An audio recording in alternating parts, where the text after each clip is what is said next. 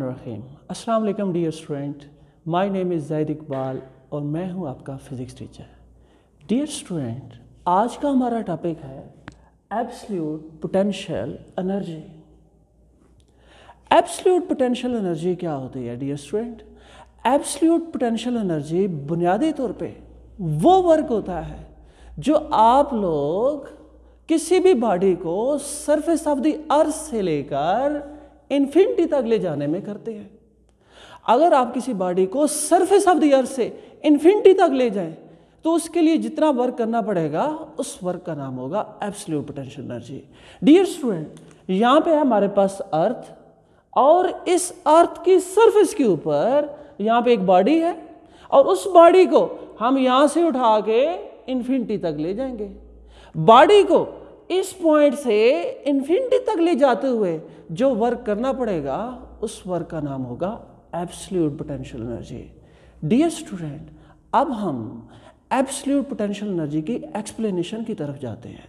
आप लोग हेडिंग देंगे what is the explanation of absolute potential energy explanation of absolute potential energy में आपने बच्चों बुक लाइंस लिखनी है। और पता बुक लाइन कौन सी लिखनी है? बुक लाइंस में आप लोग ये लिखेंगे कि हमारे पास अर्थ है और उस अर्थ से आर वन डिस्टेंस पे एक बॉडी है जिसका मैस एम है। हम उस बॉडी को इस आर वन से उठा के इस पॉइंट तक ले जाएँगे। यानी कि बॉडी को आर वन से उठा के आर एन तक ले जाना है। जब बॉडी आर वन से आर एन तक जाएगा तो ज़ाहिर है उसके ऊपर वर्क करना पड़ेगा। और वो ये वर्क हमारा क्या होगा? एब्सल्यूट पोटेंशियल एनर्जी के इक्वल बन जाएगा। डियर स्टूडेंट हम जब बॉडी को आर वन से आर एन तक ले जाते हैं तो उसके ऊपर हमें वर्क करना पड़ता है।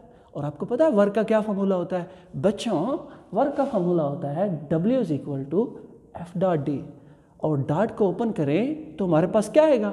एफ़ डी काज थीटा आएगा। डियर स्टूडेंट याद रहे, ये जो फॉर्मूला है, ये उस वक्त वैलिड होता है जब फोर्स की वैल्यू कांस्टेंट हो।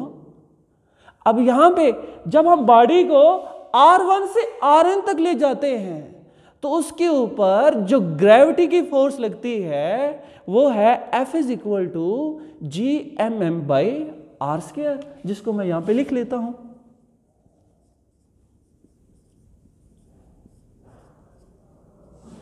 इस फॉर्मूला के मुताबिक जो फोर्स है, वो आर स्केयर के साथ इन्वर्सली वेरी हो रही है। क्योंकि फोर्स आर स्केयर के साथ इन्वर्सली वेरी हो रही है, लिहाजा जब हम बॉडी को इस पॉइंट से इस पॉइंट तक ले जाएँगे तो आर में एक ड्रास्टिक चेंज आएगा। और वो आर का ड्रास्टिक चेंज किसको तब्दील कर देगा? फोर्स को तब्दील कर देगा। क्योंकि यहाँ से यहाँ तक आर में वेरिएशन आ रही है। आर में चेंजिंग आ रही है, जिससे फोर्स भी चेंज हो जाएगी। लिहाजा हम कहेंगे कि फोर्स कांस्टेंट नहीं रहेगी। क्योंकि फोर्स कांस्टेंट नहीं रहेगी, लिहाजा ये जो वर्क का फॉर्मूला है, ये वैलिड नहीं रहेगा। ये तो फॉर्मूला तभी वैलिड रह सकता है, जब फोर्स कांस्टेंट हो। तो अब हम क्या करेंगे? वर्क निकालने के लिए इस फोर्स को कांस्टेंट बनाएँगे। और आपको पता है, ये फोर्स कैसे कांस्टेंट होगी? अगर हम R1 से लेकर Rn तक जितना भी फासला है, जितना भी पाथ है, अगर हम उसको छोटे छोटे पैचेस में डिवाइड कर दें तो तब पता क्या होगा? इन छोटे से पैचेस के अलावा मूव करते हुए आर में माइनर सा चेंज आएगा। और जब आर में माइनर सा चेंज आएगा तो फोर्स में भी माइनर सा चेंज आएगा। तो हम कहेंगे कि अगर आर में माइनर सी इंफॉर्मेशन माइनर सी वेरिएशन आ रही है तो फोर्स में भी माइनर सी वेरिएशन आएगी। डियर स्टूडेंट इधर देखिए, यहाँ से यहाँ तक देखिए R1 से R2 तक का जो फासला है, वो बहुत ही स्मॉल है। क्योंकि R1 से R2 का फासला बहुत स्मॉल है। लिहाजा हम ये कह सकते हैं कि यहाँ से यहाँ तक जो पाथ है उसकी वैल्यू बहुत स्मॉल है। अगर यहाँ से यहाँ तक के पाथ की वैल्यू स्मॉल है, यहाँ से यहाँ तक की डिस्टेंस की वैल्यू स्मॉल है तो डिस्टेंस के स्मॉल होने से एफ़ में माइनर से चेंज आएगा। अगर हम इस डिस्टेंस को बहुत ही स्मॉल कर दें, बहुत ही स्मॉल कर दें तो पता क्या होगा? एफ़ में भी बहुत स्मॉल सी वेरिएशन आएगी। तो हम कहेंगे कि ऑलमोस्ट हमने इस फोर्स को कांस्टेंट कर लिया है। कैसे कांस्टेंट किया है? By making this path very small the force will become constant अब फोर्स क्योंकि कांस्टेंट हो गई है, लिहाजा हम ये फार्मूला अप्लाई कर सकते हैं। डियर स्टूडेंट फोर्स को कांस्टेंट करने के लिए हमने यहाँ से यहाँ तक के डिस्टेंस को क्या किया है? वेरी स्मॉल किया है। गौर से देखें बच्चों, इस पॉइंट का सेंटर ऑफ़ सी आर से जो डिस्टेंस है, वो आर वन है। और इस पॉइंट का सेंटर ऑफ़ द आर से जो डिस्टेंस है, वो आर टू है। और इस फॉर्मूला में ये जो आर इस्तेमाल हो रहा है, ये आर पता क्या है? आर जो है, इन दोनों के सेंटर का सेंटर ऑफ़ द आर से डिस्टेंस है। यानी कि इस फॉर्मूला में जो आर इस्तेमाल हो रहा है, ये आर बुनियादी तौर पे आर वन और आर टू के बीच में लाई कर रहा है। लिहाजा हम ज्योमेट्रिक मीन के फॉर्मूला के ज़रिए इसकी वैल्यू निकालेंगे। क्योंकि ये आर इन दोनों के बीच में लाई कर रहा है, लिहाजा इसकी वैल्यू निकालने के लिए हम ज्योमेट्रिक मीन का फॉर्मूला यूज़ करते हैं। और बता ज्योमेट्रिक मीन के फॉर्मूला में क्या होता है? ज्योमेट्रिक मीन के फॉर्मूला से हम लोग दो पॉइंटों का मिड निकाल सकते हैं। और दो पॉइंटों का मिड हार्मोनिक मीन से भी निकाला जाता है अरिथमेटिक मीन से भी निकाला जाता है। बाद बुक में ये अरिथमेटिक मीन से निकाला गया होगा। और हो सकता है आपकी बुक में भी ये अरिथमेटिक मीन से निकाला जाए। लेकिन मैं इसको जोमेट्रिक मीन से क्यों निकाल रहा हूँ? क्योंकि जोमेट्रिक मीन से इसको निकालना बहुत ईजी है। इसलिए मैं इस आर की वैल्यू जोमेट्रिक मीन के फॉर्मूले से निकाल सकता हूँ। और आप लोगों ने भी इस आर की वैल्यू ये जो आर की वैल्यू है, जो इस फॉर्मूला में इस्तेमाल हो रही है, इसकी वैल्यू जोमेट्रिक मीन के फॉर्मूला से निकालनी है। अंडरस्टैंड बच्चों? अब हम क्या करेंगे? ज्योमेट्रिक मीन का फॉर्मूला लगाएँगे। क्योंकि ये जो आर है, ये बीच में लाई कर रहा है। इसलिए मैंने इसको कहा है कि R is geometric mean between R one and R two क्योंकि ये आर ज्योमेट्रिक मीन है आर वन और आर टू के दरमियान। लिहाजा ज्योमेट्रिक मीन का फॉर्मूला लगाओ। क्या फॉर्मूला है बच्चों? ज्योमेट्रिक मीन का फॉर्मूला है ए बी का अंडर रूट ए क्या है? पहला पॉइंट और बी क्या है? दूसरा पॉइंट यहाँ पे देखें, पहला पॉइंट क्या है? आर वन और दूसरा पॉइंट क्या है? आर टू और इन दोनों के दरमियान जो ज्योमेट्रिक मीन है, वो क्या है? आर है. लिहाजा ज्योमेट्रिक मीन की देखा, ये देखें, मैंने आर लगा दिया है. ए की जगह, देखें बच्चों, मैंने आर वन लगा दिया है. और बी की जगह, देखें, मैंने आर टू लगा दिया तो डी स्टूडेंट आर की वैल्यू क्या बन गई है?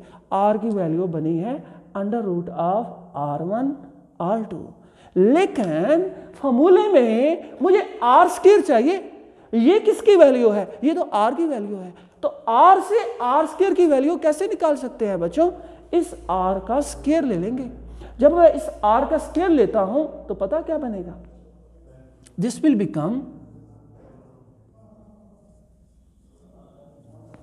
R one R two लिहाजा मैं आर स्केयर की वैल्यू कह सकता हूँ कि ये आर वन आर टू के इक्वल है।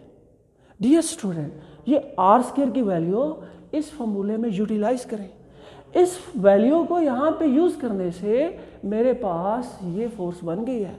और पता ये फोर्स कौन सी है? ये फोर्स आर वन से आर टू तक लग रही है। क्योंकि हम लोगों ने इस फोर्स में आर स्केयर की जगह क्या लगा दिया है? आर वन आर टू लगा दिया है। क्योंकि फोर्स में R one R two use हो रहा है। लिहाजा ये कौन सी फोर्स होगी? ये वो फोर्स होगी जो यहाँ से यहाँ तक लग रही है। आपको पता है बच्चों, जब फोर्स यहाँ से यहाँ तक लगेगी तो ये जो वैल्यू है, ये बहुत ही स्मॉल सी होगी। और अगर ये वैल्यू बहुत ही स्मॉल सी हो तो एफ़ में भी माइनर सा चेंज आएगा और माइनर सा चेंज ना होने के बराबर होता है। लिहाजा हम कह सकते हैं कि फोर्स में ऑलमोस्ट चेंज नहीं आएगा। अगर फोर्स में चेंज नहीं आएगा तो फोर्स क्या होगी? कांस्टेंट होगी। डियर स्टूडेंट ये जो फोर्स है, ये क्या है? कांस्टेंट है। और इसकी क्या वैल्यू है?